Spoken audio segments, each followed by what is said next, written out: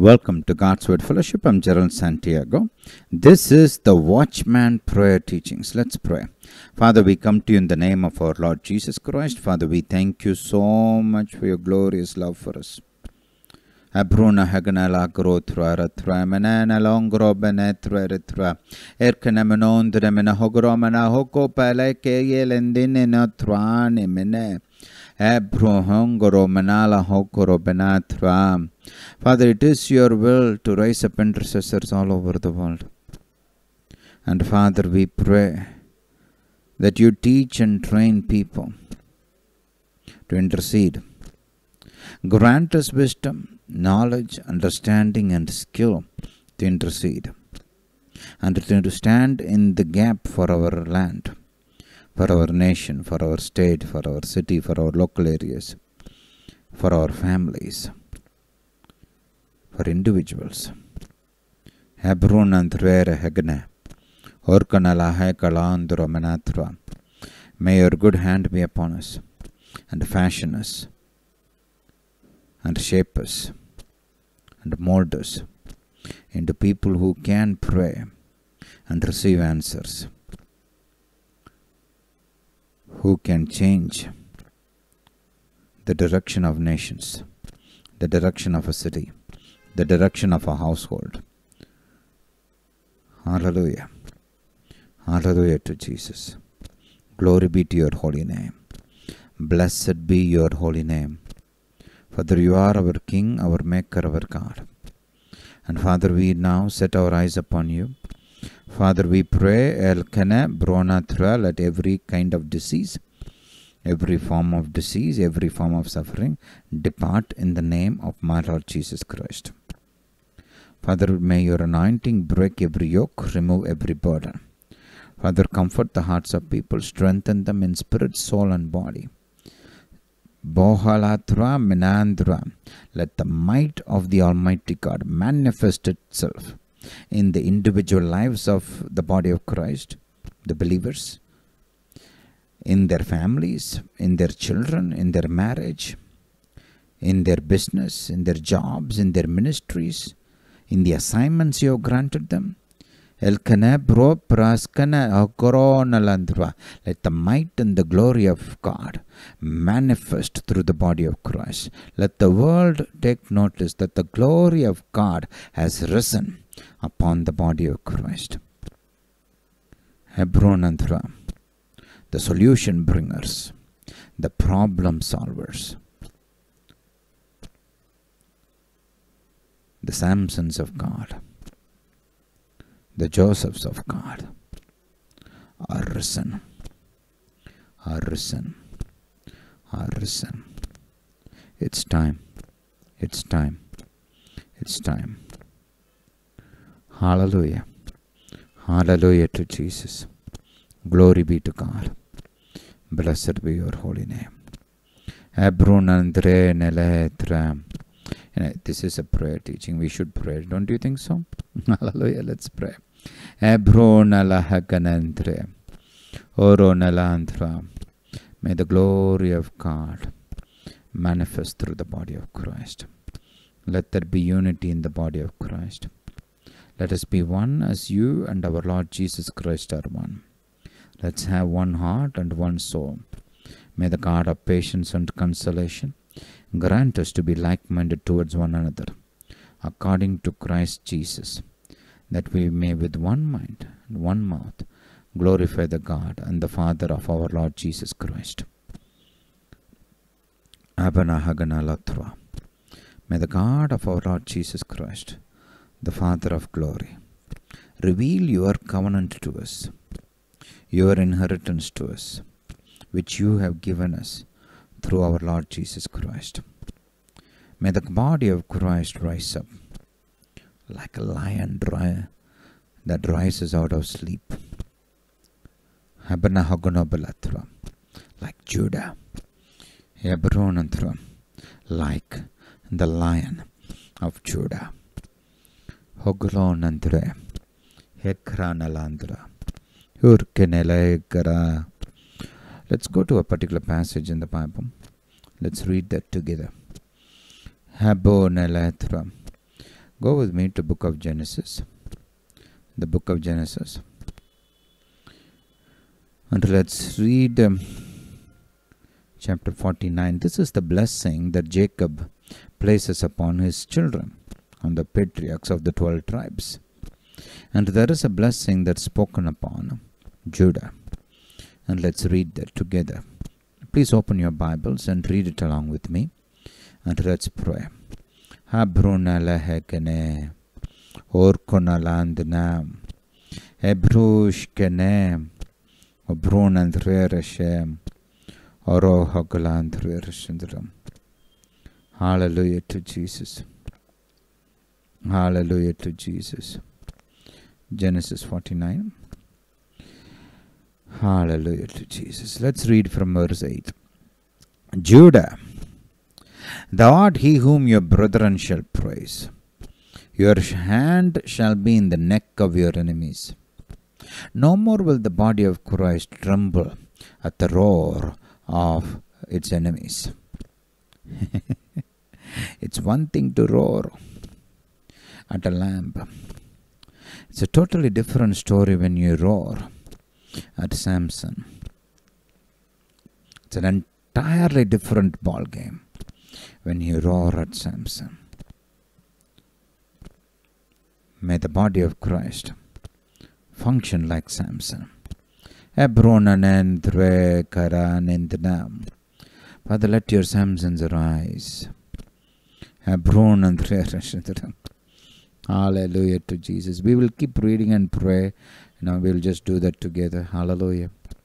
Your hand shall be in the neck of your enemies. Now, the body of his Christ is not going to run at the roar of its adversaries. No, we are actually going to put a hand on the neck of our enemies, meaning we will have total victory. Hallelujah. That's what it is. You can see this displayed in various places in the Bible. Let me show you some. Go with me to, I think it is Joshua chapter 10. You know, after the defeat of uh, some mighty kings, you know, they come together and um, Joshua asks them to do something. Hallelujah. Hallelujah to Jesus. Look at this. Read this together with me. Let's read from verse 22. Joshua chapter 10, verse 22. Then said Joshua, Open the mouth of the cave and bring out those five kings unto me out of the cave. These five kings joined as an alliance together, right, to defeat the body of Christ. I'm sorry, to defeat Israel, right? And um, so here, Joshua, with God's great help, you know, God stopped the sun and the moon for the sake of his people, right? When uh, Joshua called upon God, God did this. God heard the voice of a man and actually stopped the sun and the moon. Hallelujah. Look at verse 23. You know, some people want to argue about it. I don't give. I don't want to give even a second of my time to such nonsense. The Bible says it. I believe it. That settles it. That's it. No arguments here. Verse 23 And they did so, and brought forth those five kings unto him out of the cave, and the king of Jerusalem, the king of Hebron, the king of Jarmuth, the king of Lachish, and the king of Eglon. Verse 24 And it came to pass when they brought out those kings unto Joshua, that Joshua called for all the men of Israel, and said unto the captains of the men of war which went with him, Come near, come near, put your feet upon the necks of these kings. What did he say? Come, put your feet upon the necks of these kings. And they came near and put their feet upon the necks of them. And this was to illustrate to them that God has put their adversaries under their feet, and that they have total dominance and total victory over their adversaries. Hallelujah. This is what God wants for his body, the body of Christ. Hallelujah. Is exactly what God wants. Total, complete dominance over adversaries. Verse 25 And Joshua said unto them, Fear not, nor be dismayed, be strong and of good courage. For thus shall the Lord do to all your enemies against whom you fight. This is exactly what God will do. Wh- Whichever nation you live in, whichever state you live in, whichever city you live in, this is what God wants to do for your adversaries. Hallelujah. God wants to give you total and complete victory. There's another place which in where this is illustrated. Go with me to Psalm uh, Psalm 18. This is part of the mercies of David, which was upon our Lord Jesus, and as the body of Christ, we are heirs to the blessing of our Lord Jesus, and we are co-heirs with our Lord Jesus. So look at this. Hallelujah to Jesus. Let's read from verse um, 37. I have pursued my enemies, similar to what Joshua did, and overtaken them. Neither did I turn again till they were consumed. You know, this is exactly what Joshua did. See, God had given those people into their hands. The reason he asked God to stop the sun and the moon on their tracks was because um, he wanted to finish the job. If these guys go back into their fortresses and in their fortified cities, you know, it's going to be, you know, battle after battle after battle. Now, now these guys were in his hands right now. It's time to finish the job. Hallelujah. So that's why Joshua called upon God to stop the sun and the moon so that he can finish the job. He didn't turn back until they were consumed. Hallelujah. Verse 38 I have wounded them that they were not able to rise. They are fallen under my feet. Total dominance, total victory. This is what God wants for his body, the body of Christ. For thou hast girded me with strength unto the battle. Now you understand that we are not talking about physical battle, right? we are not we are not going to take swords and uh, guns and fight people in the battle. No, that's not what he's. We are talking about the body of Christ, right? Body of Christ will overcome all adversaries in every field. In every field. Hallelujah. And um, for thou hast girded me with strength unto the battle. Thou hast subdued under me those that rose up against me. Thou hast also given me the necks of my enemies, that I might destroy them that hate me. They cried, but there was none to save them, even unto the Lord, but he answered them not. Then did I beat, then did I beat them small as the dust before the wind. I did cast them out as the dirt in the streets. Thou hast delivered me from the strivings of the people. Okay, the reason I read this passage is because this is not some isolated passage, right? This is how God thinks about giving victory for his people. This is what God did for the devil. Our Lord Jesus spoiled principalities and powers, right? Stripped them totally, completely. Go with me to Colossians. Colossians. Colossians chapter 2.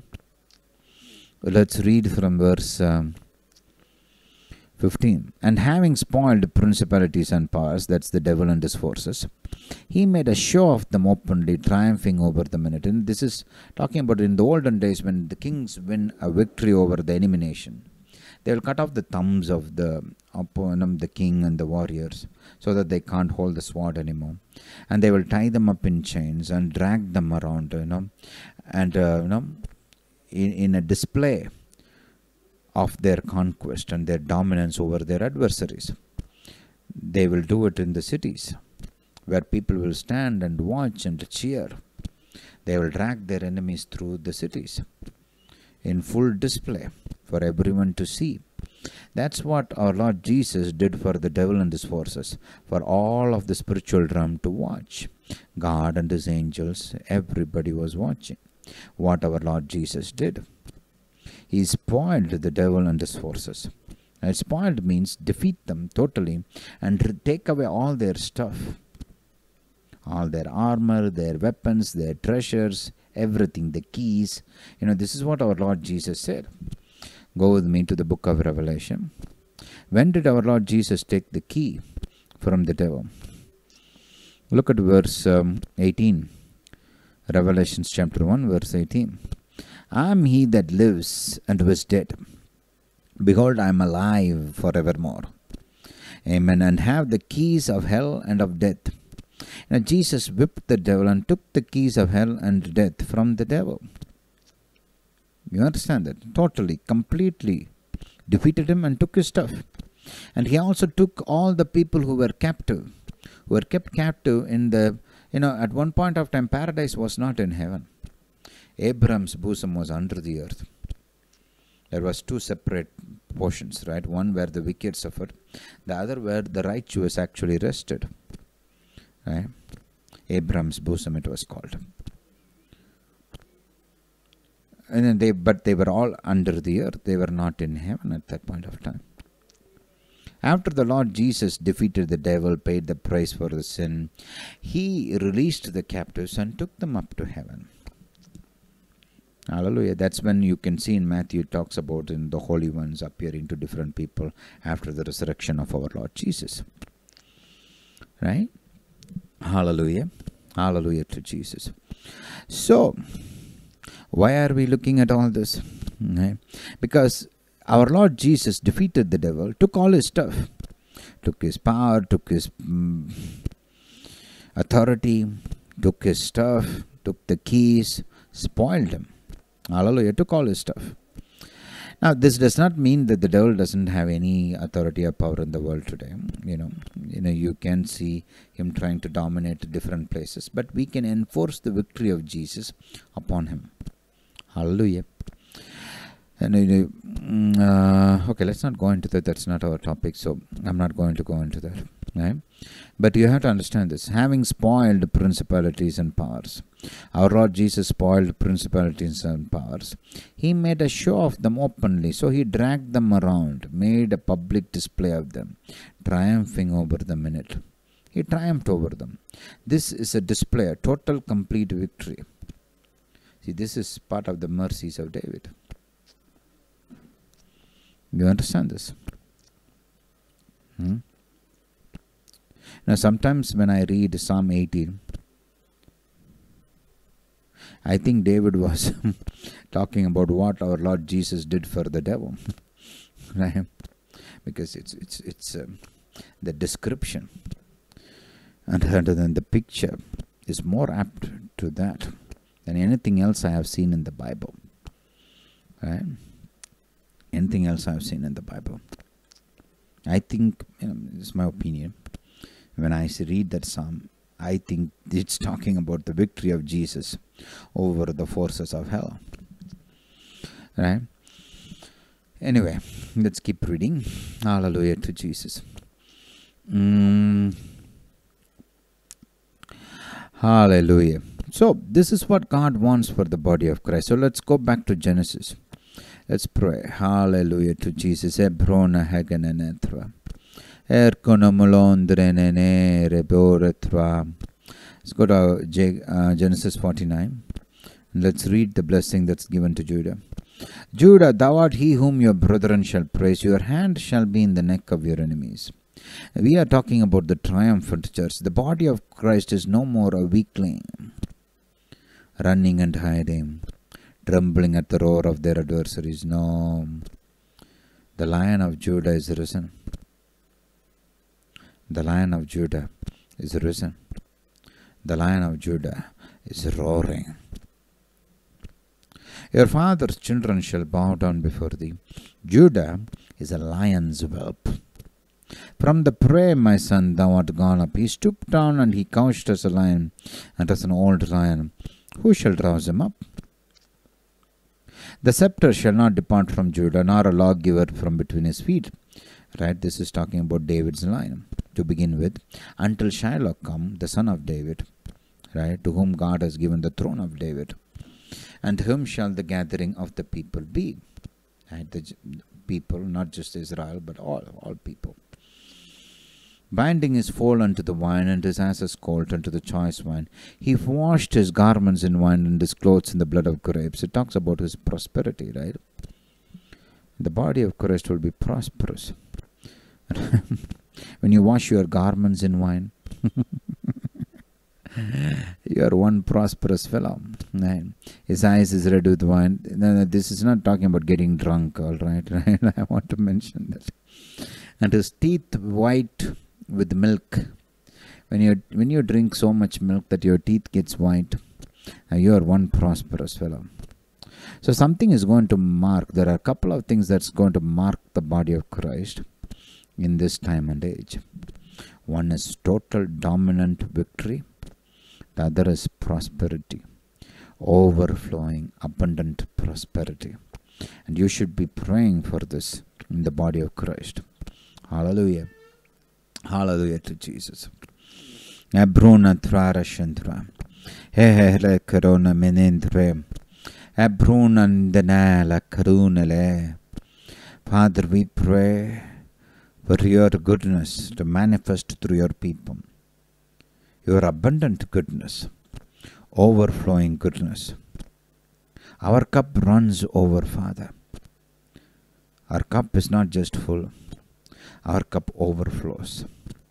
Surely, goodness and mercy will follow us all the days of our life. Hallelujah. Hallelujah to Jesus. Glory be to God. Hebruna langra natruare shele. Hallelujah to Jesus. Glory be to God. Father, we thank you so much. You heard and answered our prona lakrane. Prona landina. Abrola hagranandra. May God arise and may his enemies be scattered.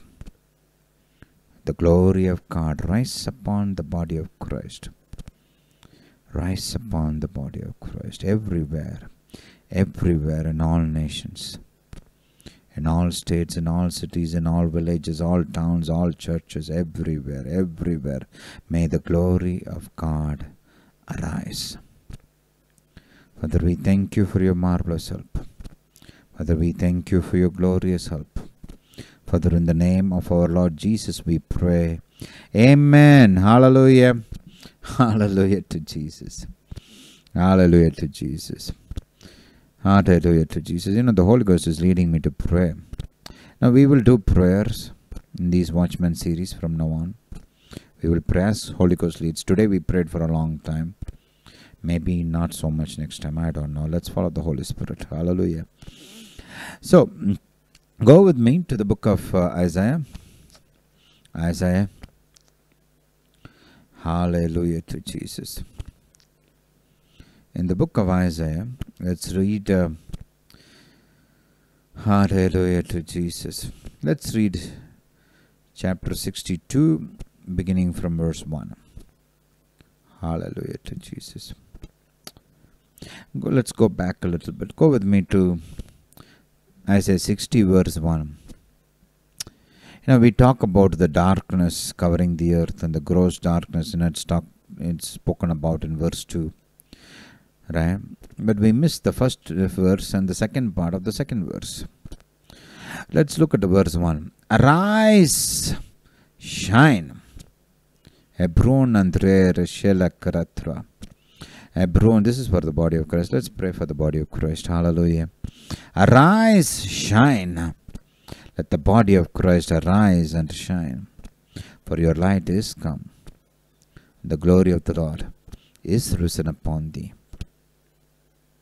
For behold, the darkness will cover the earth, the gross darkness the people, but the Lord will arise upon thee, and his glory shall be seen upon thee, and the Gentiles shall come to your light. The Gentiles will come. You talk about the end time harvest. What's going to bring the end time harvest? The glory of God upon the body of Christ and kings to the brightness of your rising. Who is going to come to the body of Christ? Right? kings. The glory that's going to manifest through the body of Christ is going to impress even kings. It's not easy to impress kings, but even kings will be impressed by the brightness that God is going to bestow upon the body of Christ. We should pray for this. this. These passages should become your prayer scriptures. These should become your prayer points. Hallelujah. You want to pray for your church? You want to pray for the body of Christ? These are the passages you should be praying. Hallelujah. Hallelujah to Jesus. Hallelujah to Jesus. Hallelujah to Jesus. Okay, now we can go to 62. Verse 1 For Zion's sake, you know, the body of Christ is God's Zion, right? Hebrews 12 talks about that. For Zion's sake, I will not hold my peace. For the sake of the body of Christ, I will not hold my peace. And for Jerusalem's sake, I will not rest. You know, I'm saying this by the Holy Spirit. God is calling upon you to give yourself to praying in tongues at least for an hour a day. At least. At least. Now, if some of you are not in that place, start where you are. At least start praying 15 20 minutes. But you know, this call is for people. God is specifically calling upon people to dedicate yourself, to commit yourself to pray in tongues at least one hour a day. So that the plans and the purposes of God can be fulfilled not just in your place, in your city, in your locality, but all over the world in the entire body of Christ. All over the body of Christ. Dedicate yourself, commit yourself, give yourself to praying in tongues at least one hour a day. Now, understand not all of you will be doing this, but if you would commit to this, God will build your life. See, that's the blessing about intercession. There is a blessing for intercession. Hmm? Study the book of um, chapter Isaiah, chapter 61. It's basically the law of the anointing. The first part talks about the anointing upon the Lord Jesus. See, that anointing is functioning through the body of Christ today. Right? That same anointing that was upon our Lord Jesus Christ is functioning through the body of Christ today. Hallelujah. Notice second verse 2 to proclaim the acceptable year of the Lord and the day of the vengeance of our God. You know, vengeance is manifesting now. Vengeance, not anger, vengeance. To comfort, all, and there is a difference between anger and vengeance. To comfort all that mourn. Mourn, mourn. It's not talking about people having a boo hoo. It's talking about people who intercede. Right? You go study the Bible and, and look at the word, how the word mourn is used. It's talking about intercessors. Let me give you an example. Go with me. First Samuel chapter 15. Hallelujah to Jesus. Towards the end of the chapter, let's look at you know Samuel anointed Saul to be king, and he prayed for him, and he spoke the word to him, gave him directions. He did all that, right? and at one point of time, God simply rejected from being king. And look at verse 35. And Samuel came no more to see Saul until the day of his death. Nevertheless, Samuel mourned for Saul. Mourned, meaning he interceded for Saul. And the Lord repented that he had made Saul king over Israel. Verse chapter 16, verse 1. And the Lord said unto Samuel, How long will you mourn for Saul, seeing I have rejected him from reigning over Israel? Fill your horn with oil and go. I will send thee to Jesse the Bethlehemite, for I have provided me a king among his sons. This is see, this is where the fulfillment of the prophecy that was spoken over Jacob came to pass. Right? The reason God didn't give them people a king, did not want to give people a king, because that was not the part of his original plan. God did not say anything about Benjamin being the king. God spoke about Judah, right? Being the lawgiver, and the scepter will not depart from Judah. So Saul, Saul was provided people because people insisted they wanted a king ahead of God's timing ahead of God's timing. Hallelujah. God had already promised Abraham that kings would come out of his loins. Right? It was told to Jacob as well. And you see that we just read the prophecy that was given to Judah, right, by Jacob. All right, now, for provided me a king among his sons. Who provided? God. That time, Saul was something people demanded, right? People demanded, and God, you know, until the time David would be born, right? God waited. Saul was a stopgap, you know. He was just to fill in until David showed up. Hallelujah. Hallelujah to Jesus. So, Samuel, uh, the reason I brought you here was, uh, I guess the Holy Ghost brought us here for multiple purposes, but you see, he was mourning, right, or interceding for Saul. But the time came when God wanted to move on. So God said, let's move on, right? Stop. Look at Nehemiah. Nehemiah. Nehemiah 3. No, sorry. Let's go to 1. Right? Look at this. Verse 4 And it came to pass when I heard these words that I sat down and wept and mourned certain days and fasted. Right? And prayed before the God of heaven.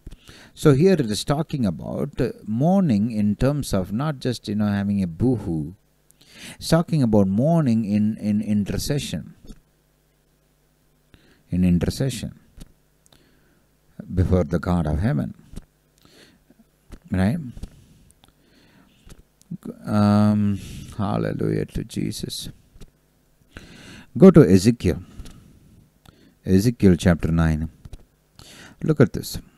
You know, there is judgment coming upon um, the city.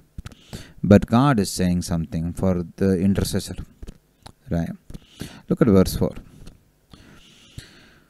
And the Lord said unto him, Go through the midst of the city, through the midst of Jerusalem, and set a mark, say, set a mark, upon the foreheads of the men that sigh and that cry for all the abominations that be done in the midst thereof. Right? Hallelujah to Jesus. So, uh, this is a mark of protection. This mark of protection is for people who sigh and cry for all the abomination that be done in the midst thereof. Meaning, it's not just having a boo-hoo. You know, these people were looking at all the evil that is being done, and they were mourning or interceding for that purpose, so that God would, you know, cleanse the city, stop the evil, remove this wickedness from the city. They were mourning on behalf of the city. So God is placing a mark of protection upon these people. Even though judgment is coming upon the city, it did not touch the intercessors. If you read um, verse 6, it says, Slay utterly old, young, both maids, little children, and women, both, but come not near any man upon whom is the mark. Begin at my sanctuary. Then they began at the ancient men which were before the house. Right? So the reason I brought you here is to show you that this mourning, this sighing, this crying, right, is talking about intercessors. Isaiah 62, right, 61, eh? Isaiah 61 is the blessing of the intercessor. It is the law of the anointing. Hallelujah. We'll talk more about that as the Holy Spirit leads. But today I want to introduce that to you. Isaiah 61. Right? To comfort all that mourn. This is the blessing our Lord Jesus spoke about in Matthew. Hallelujah. I want you to see this. Matthew chapter 5. Matthew chapter 5. Look at verse 4. Blessed are they that mourn, not people which might have a boohoo, for they shall be comforted. Who are the people who are going to walk in the blessing? The intercessors. These are various things. All these things are principles to walk in the blessing. Everything that is listed here, they are all principles of the blessing. One principle of the blessing is intercession. I'm not saying it's the only principle. One principle of the blessing is intercession. Right? So, this is what is being listed out in Isaiah 61. Let's go back to Isaiah 61. To point unto them that mourn, that intercede in Zion, in the body of Christ. To give unto them beauty for ashes, the oil of joy for mourning, the garment of praise for the spirit of heaviness. This is one reason why, when you praise, when you have a burden and you keep interceding, you have uh, all of a sudden a note of victory comes, you know. This is why. That they who, the people who intercede, might be called the trees of righteousness, the planting of the Lord, that he, God, may be glorified. They, these people, the intercessors, will build the old wastes. They will raise up the former desolations. You can see this blessing in, in um, being mentioned in Isaiah 58 also. There also you fast and pray and mourn before God or intercede before God. Right? And they, the people who pray, the intercessors, they shall repair the waste cities, the desolations of many generations. Hallelujah. Hallelujah to Jesus. Strangers shall stand and feed your flocks, and the sons of the alien shall be your plowmen and your wine dressers. Why? Because these people are going about the business of God. God will appoint other people to help them. But you shall be named the priests of the Lord. Men shall call you the ministers of our God. You shall eat the riches of the Gentiles. God will bring in riches for the intercessors. And in their glory shall you boast yourselves.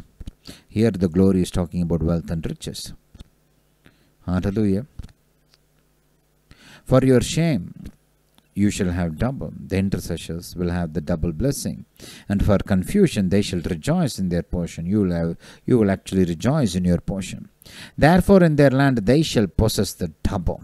In your land, wherever you are, you will possess the double. Everlasting joy shall be unto them right study the entire chapter study isaiah 60 61 62 together they're all connected hallelujah hallelujah to jesus the blessing of the intercessor give yourself to praying in tongues at least one hour every day and intercede in you within your understanding as the holy spirit leads god will bring great blessings upon you hallelujah Hallelujah to Jesus. Thank you so much for listening. God bless you. Jesus is coming soon. Please to share our message with your friends, family, relatives, right? Uh, fellow believers, right? people whom you know. Share it with them. God will honor you. Thank you so much for listening. God bless you.